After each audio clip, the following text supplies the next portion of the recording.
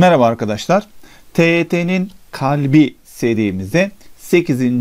videomuzda devam ediyoruz.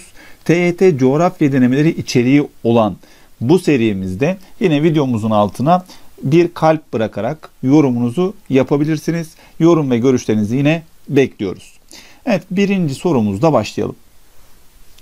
Aşağıdakilerden hangisinin oluşum nedeni diğerlerinden farklıdır? Sıcaklık kuşaklarının oluşması, gece gündüz sürelerinin değişmesi, çizgisel hızın değişmesi, alacakaranlık süresinin değişmesi, paralel dairenin kutuplara doğru küçülmesi. Şimdi sıcaklık kuşaklarının oluşması, çizgisel hızın değişmesi, alacakaranlık süresi ve paralel dairenin kutuplara doğru küçülmesi dünyanın şekliyle de açıklanabilir.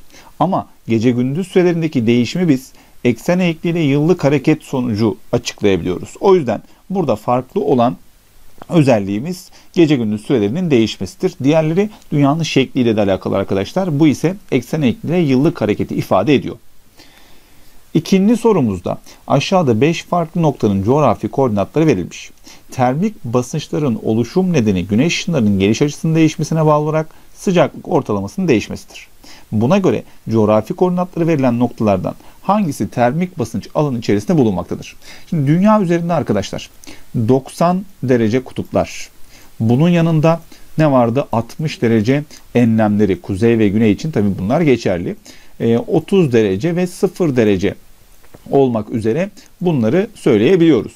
30 ve 60'takiler dinamik kökenliyken 0 ve 90'dakiler termik kökenliydi. Bunun yanında yüksek mi alçak mı olduğunu yaya şeklinde kodlayarak bulabiliyorduk. Bu kodlamayı kullanabiliyorduk. Tabi burada bu soruda baktığımızda yüksek ve alçak basıncı sormamış.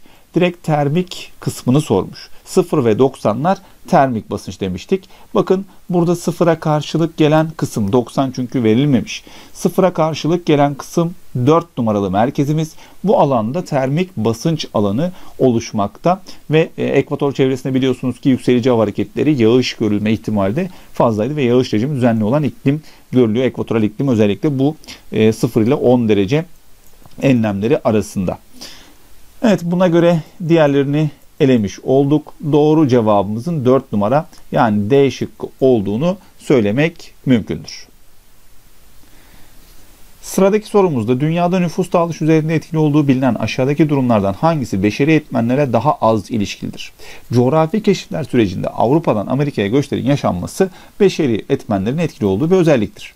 Nil Deltası çevresinde yapılan tarımsal faaliyet ki tarımsal faaliyetlerin özellikle bu alandaki yoğunluğu, nüfus yoğunluğunu arttırıyorsa o beşeri bir faaliyet. Maden işletmelerin aktif olduğu dönemlerde kent, e, kentleşmenin yükselmesi, kentleşme hızının fazla olması.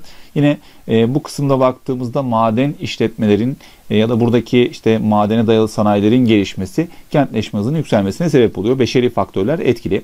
Sanayi devrimi sürecinde iş gücü ihtiyacının ortaya çıkması, kırsal alandan kentlere göçün yaşanması yine beşeri özellikler etkili. Ama dağlık, kayalık alanlarda nüfuslanmanın seyrek olması doğal özellikleri içeriyor arkadaşlar.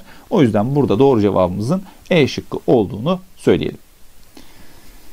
Evet sıradaki sorumuzda yukarıdaki harita üzerinde işaretlenmiş X noktasından sırasıyla Y ve Z'ye ilerleyen bir gemideki bilim insanları deniz suları ile ilgili olarak hangisini gözlemlemez? Şimdi baktığımızda X'ten öncelikle Y'ye sonra Z'ye geçiş olmuş. Buna göre tuzluk oranı azalacaktır. Çünkü buharlaşma azaldığı için, sıcaklık azaldığı için e, biz tuzluk oranının azaldığını söylüyoruz. Kızıldeniz en tuzlu denizimiz ki oradan yola çıkmış. E, daha sonra kuzeye doğru tuzluk oranı bir azalma var. Sıcaklık azalıyor. Yoğunluk azalıyor. Kısmı var. Çünkü e, tuzluk oranı azaldığında yoğunluk da azalır. Gelgitkenliği ise baktığımızda okyanus kıyılarında daha fazladır. Yani iç deniz olan X ve Y'de daha az iken Z kısmında yine baktığımızda onun kıyılarına doğru ya da biraz daha işte okyanusa doğru açıldığımızda iç denizlerden burada gelgit e, değişimi söz konusu. Tabi burada gelgitkenliğinin azaldığını söylemek mümkün değil arkadaşlar. Buharlaşma yine kuzeye doğru azalıyor. O yüzden gelgitle e, azalma durumuyla burada yorumumuzu yapamıyoruz. O yüzden doğru cevabımızın D şıkkı olduğunu söyleyelim. Yani burada X'ten Z'ye doğru bir azalma söz konusu değil. Daha çok burada sıcaklık, buharlaşma, tuzluk oranı ve yoğunlukta bir değişim olduğunu görebiliriz güneyden kuzeye doğru gittiğimiz için. Evet sıradaki sorumuzda arkadaşlar doğada kendiliğinden oluşan insan emeği ve çalışmasının ürünü olmayan unsurların tamamına doğal unsur denir. Buna göre aşağıdakilerin hangisi doğal unsurlardan biri değildir? Travertenlerin oluşumu nasıl gerçekleşiyor? Yer altından çıkan suyun kolay eriyebilen kayaçlara temas sonucu oradaki mineralleri içine alması ve yüzeye çıktığında suyun buharlaşarak içindeki özellikle kireç gibi minerallerin çökelmesiyle oluşuyor. Bu doğal bir özellik. Peri bacaları yine oluşum bakımından doğal unsurları içeriyor. Oradaki e, volkanik araziler ve sel suları tarafından oluşturuluyor. Bunun yanında mağara yine Karaca mağarasının oluşumu aynı şekilde erimeyle oluşmuş, karstik alanlarda oluşmuş doğal bir unsur. Cennet ve cehennem obrukları yer altındaki boşlukların çökmesiyle, mağaraların çökmesiyle oluşuyor. Doğal bir unsur. Ama yere batan sarnıcı arkadaşlar beşeri. Ki özellikle burada doğal bir unsurdan bahsedemiyoruz. Orada insan yapısından bahsediyoruz. O yüzden doğru cevabımız E şıkkı olarak değerlendirilebilir. Evet arkadaşlar bir videomuzun daha sonuna geldik. Bir dahakinde görüşmek dileğiyle iyi çalışmalar diliyorum.